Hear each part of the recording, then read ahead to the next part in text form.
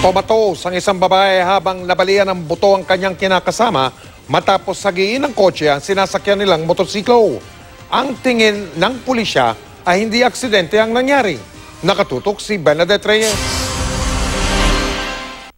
Sa dashcam video na ito, makikita ng kotseng yan na mapapapreno sa likod ng isang motorsiklo. Lulusot sa kanan ng kotse at maya-maya, ang rider at ang angkas nito sinagi ng kotse at bumagsak at nagpagulong-gulong sa kahabaan ng Marcos Highway. Comatose ngayon ang babaeng angkas ng motor na si Rosana Ugto sa ICU ng Amang Rodriguez Memorial Hospital. Nabalian ng buto sa binti ang kanyang live-in partner na si Joseph Belen. Sabi ni Belen, pauwi na sila galing ng trabaho ng tila sinadya raw silang sagiin ng kotse pasado alauna kaninang madaling araw. May narinig nila ako sa paglampasan ng Santolan Station po, LRT. May may narinig lang po ako parang gulong na nagsumadsad po, yung nag-drip. Tapos nung nagulat na lang po ako, meron ng kotse sa may tagiliran ko. Tapos bigla kaming ah, sinagi po, pakaliwa. Hanggang ngayon, hindi pa tukoy ng Pasig Police ang pagkakakilanlan ng may-ari ng nakabanggang kotse.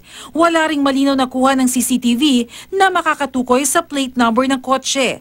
Pero base sa video, makikitang nasa motorcycle lane ng mga biktima na mangyari ang insidente. Patuloy ang investigasyon ng pulisya sa pangyayari. Naging reckless yung isang sakyan na umovertake na hindi niya natansya na aabutin niya pa yung inovertikan niya.